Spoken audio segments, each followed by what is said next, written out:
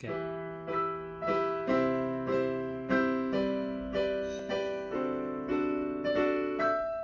What would I do without your smart mouth?